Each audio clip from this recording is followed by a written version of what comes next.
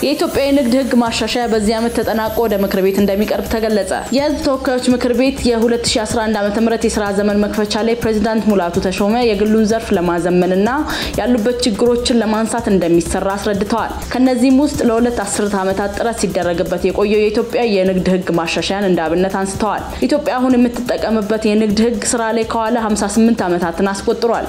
ኢትዮጵያ የዓለም አቀፍ የንግድ ድርጅት WTO ን ለመቀላቀል ሂደት መጀመሯን ተከትሎ ድርጅቱ ካቀረበው ምክረ ሀሳብ አንዱ የንግድ ህጉ እንዲሻሻል ነበር። በዚህም መሰረት ከአራት ዓመታት በፊት ሀገራዊ ኮሚቴና አምስት ንዑስ ኮሚቴ ተዋቅሮ ማሻሻያ ሲረቅ መቆየቱ ይታወሳል።